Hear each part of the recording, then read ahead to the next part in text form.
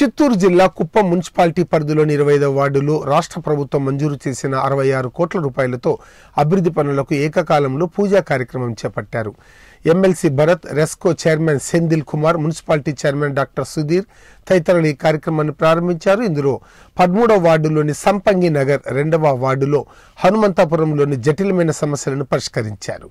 ఆ ప్రాంతం రోడ్డు మురికి నీటి నిర్మాణం కోసం ప్రభుత్వం నిధులు మంజూరు చేయడంతో పనులకు పూజా కార్యక్రమాన్ని వార్డు కౌన్సిలర్ హంస సోమశేఖర్ మునిరాజు ఆధ్వర్యంలో నిర్వహించారు.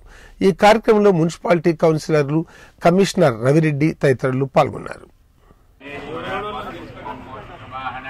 이런 운동 보여 그래? 어?